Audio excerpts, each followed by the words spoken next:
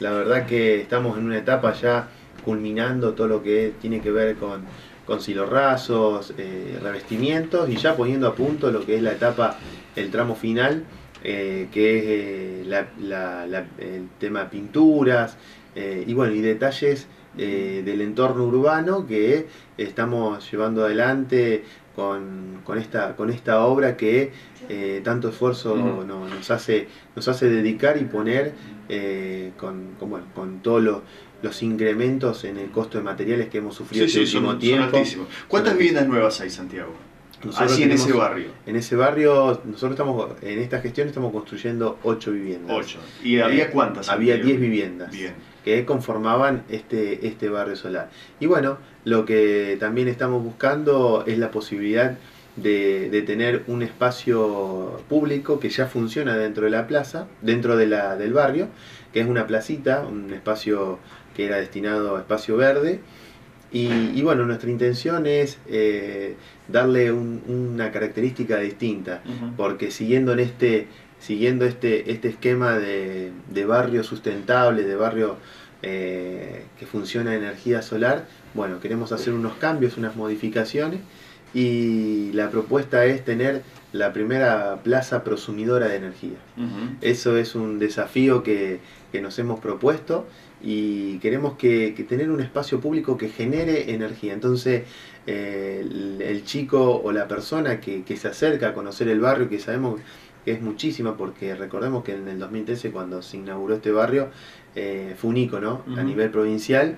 Y, y bueno, hasta el día de hoy eh, hemos recibido gente de distintos países, gente de distintas provincias, a conocer eh, este barrio solar porque nosotros hemos tenido una decisión importante de trabajar la, la cuestión energética como política de Estado. Hasta la luminaria en la vía pública es solar. Exactamente, la luminaria en la vía pública, bueno, eso lo vamos a, a transformar junto con la plaza, eh, vamos a hacer unos, unos cambios donde vamos a, a hacer que, que esto sea, eh, que sea beneficioso para todos, ¿no? Y que, el que haya, eh, que, que el primer espacio público de San Carlos Sur eh, genere energía, energía renovable, Sí, sí, sí. energía limpia, ¿no? Que sea autosustentable. Que, hace- que sea autosustentable, exactamente. Eh, ocho viviendas. ¿En qué etapa de construcción están?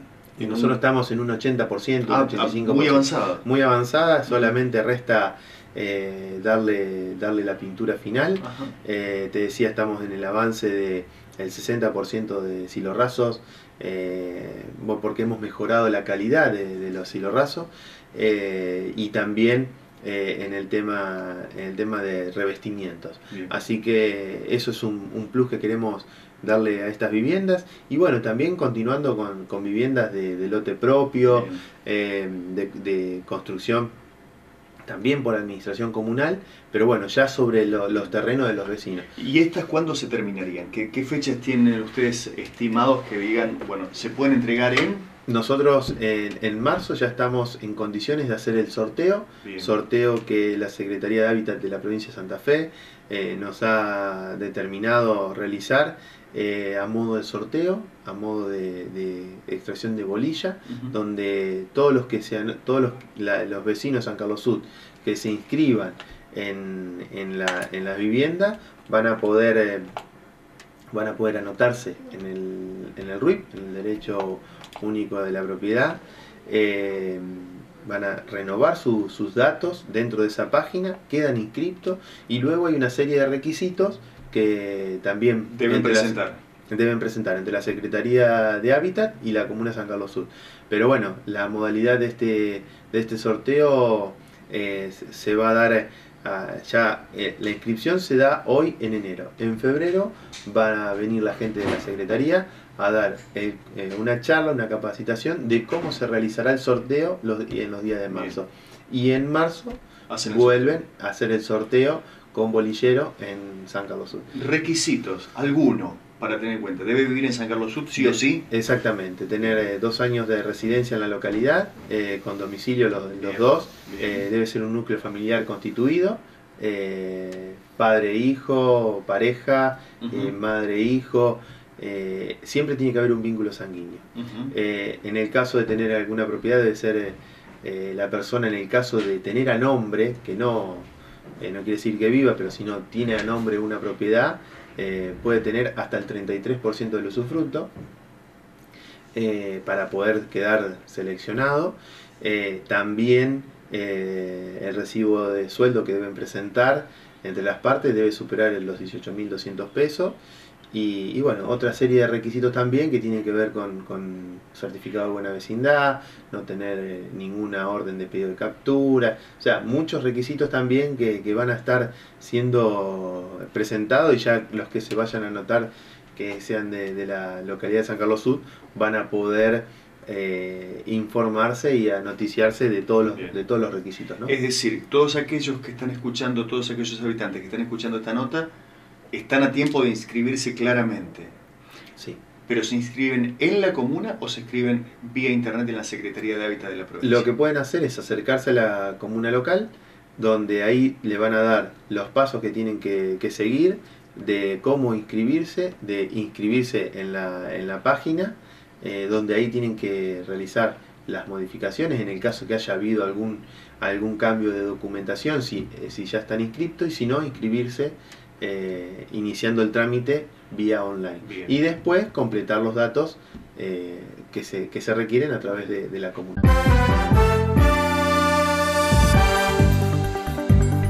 Los 34 lotes que estaban, que estaban con posibilidad de ventas fueron vendidos. Eh, y bueno, ya están...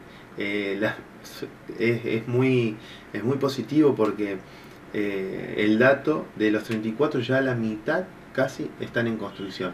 Eh, y ya hay gente, hay personas eh, que, están viviendo. que ya están viviendo. O sea que eh, la importancia a veces de generar este, este tipo de loteos en, en, localidades chicas como la nuestra, siempre a, menor costo, a, a, tener, a darle posibilidad y accesibilidad a, la, a, las parejas, a las familias que, que, que tengan ese, ese acceso al terreno propio, les da también ese plus para poder comenzar eh, una obra. Sí, sí.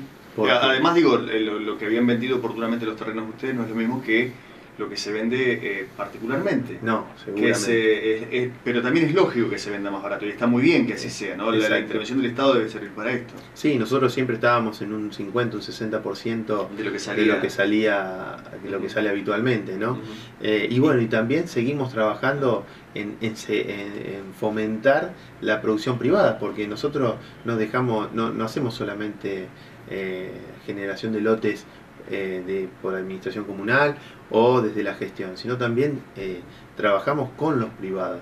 También hubo un crecimiento importante desde los privados donde eh, le damos posibilidades, le damos beneficios para que aquel que quiera subdividir o tenga la posibilidad de construir una cuadra y lotear, eso nosotros estamos a disposición. De hecho hemos trabajado y hablado con vecinos de la localidad y con eh, con inversionistas que ya eh, en pocos meses van a estar sacando a la venta sus lotes, eh, hemos desarrollado una propuesta urbana donde aquel espacio que se utiliza para reservorio o espacio público lo incorporamos dentro del paisaje, dentro, de la, dentro del, diseño del barrio.